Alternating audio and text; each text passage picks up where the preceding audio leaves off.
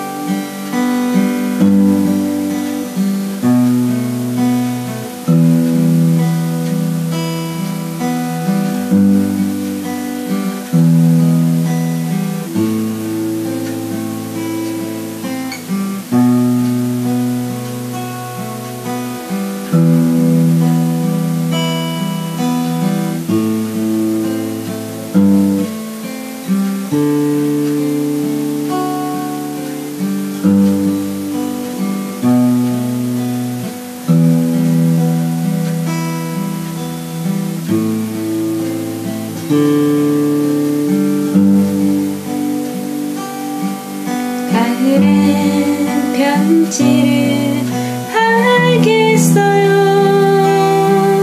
모든 것을 헤매인 마음. 보내